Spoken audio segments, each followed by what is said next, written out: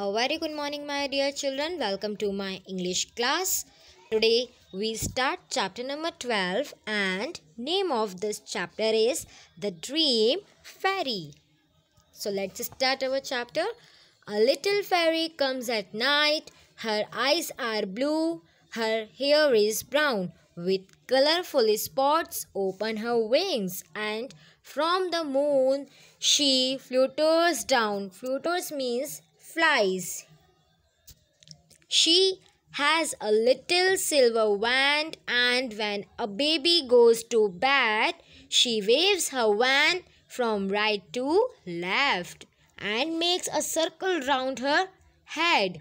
Come to the third para and then it dreams of lovely things, of fountains filled with fairy fish and trees that have delicious fruit and bow their branches at a wish.